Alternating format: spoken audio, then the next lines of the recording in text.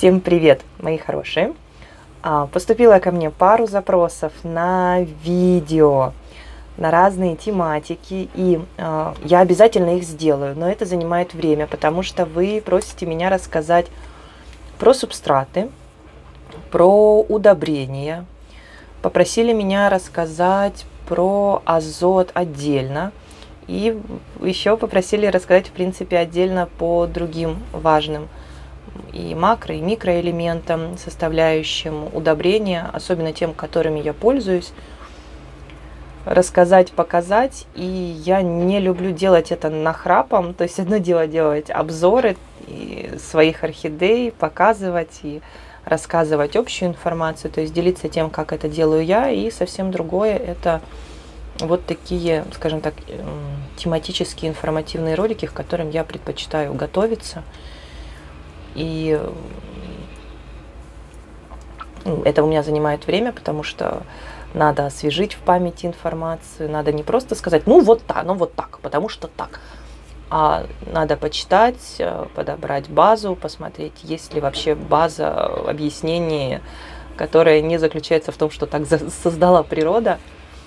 Вот, и ролики выйдут э, обязательно, выйдут позже, но я хочу сделать их качественными, а не просто вот быстро, сумбурно много чего наговорить, что-то забыть чтобы, в общем-то, сделать для вас максимально информативно, но при этом не затянуть в мое любимое поболтать на 15 минут и больше.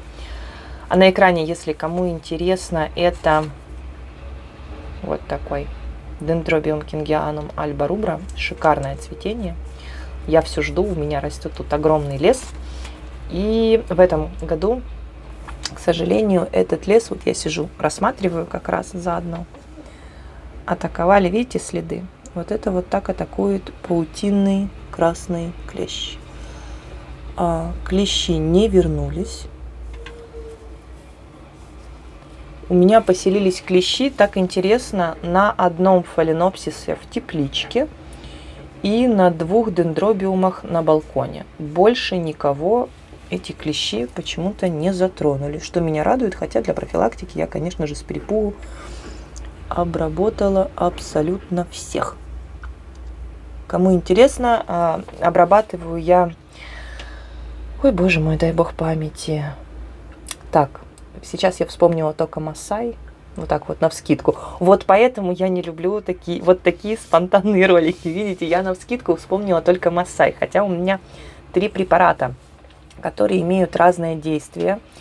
А, почему я пользуюсь разным действием? Есть контактные препараты, которые действуют на раз... ну, я выбираю те, которые действуют на максимальное количество, скажем так, стадий развития клеща, там, на личинок, на яйца, на личинок, на нимф, на самого клеща.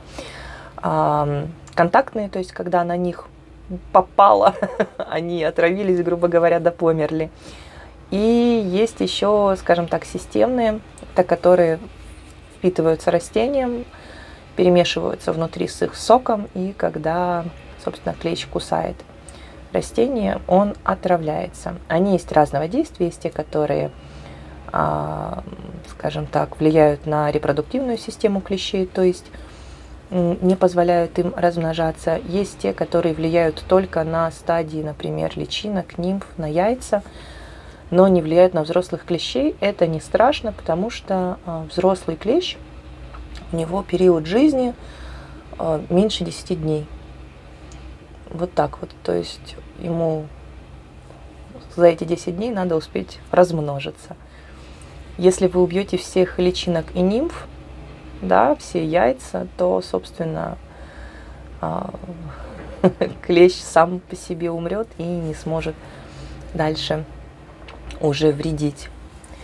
А, пользуюсь я этими препаратами в связке, я всегда обрабатываю контактными, когда вижу, что вот оно есть, и потом даю систематические, которые войдут в сок и убьют уже все остальное. Я в описании обязательно оставлю название трех препаратов, которыми я пользуюсь, и дам ссылочку на девушку, у которой я их всегда беру. У нее можно попросить любую фасовку – и это хорошие рабочие препараты.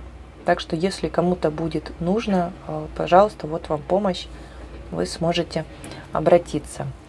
Так, ну и вот это, это а, добрая Юля решила поставить на открытое окошко, которое закрыто сеткой от насекомых, подсыхать в вечерние часы после обработки, а, собственно, препаратом. Ну, вечерние, это в 4 часа на восточное окно. И кто бы мог подумать, что э, вот такая кака может случиться уже в 4 вечера на восточном окне, когда солнышко давно уже ушло в другую сторону. Но вот такая вот бедосечка. Подгорели, и подгорели, видите, именно молодые листья. Но ничего страшного. Кстати, хочу сказать, что после обработки от клеща очень много появилось сил у этого чуда. И вот пошло очень-очень много ростов. А в уже выросших бульбочках я вижу много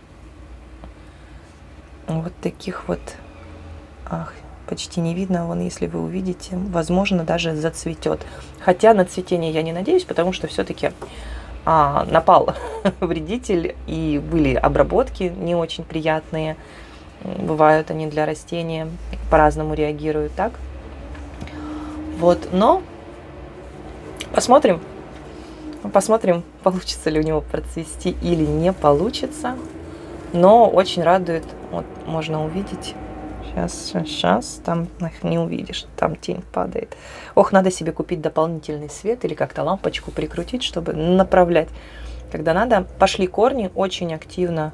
Когда ушли все клещи, пошли корни, пошли новые росты, и все идет на лад, и вот такое уже пышнейшее, красивейшее чудо. Я обожаю этот дендер. Кстати, вот это я подпираю. это не чтобы он не шатался, это чтобы он не ложился вот туда вот вниз в горшок, и было место для новых ростов, потому что и так уже достаточно пережил он, и мучить его пересадкой в этом году я не хочу, хочу его еще подержать в этом горшочке, хотя бы до следующей весны, а потом уже, чтобы он переехал в домик побольше. Вот так вот. Всем большое спасибо за просмотр. Ставьте лайки, подписывайтесь на канал, заглядывайте в описание, там много чего интересного бывает. И всем солнечных дней, пышных цветений. Пока-пока.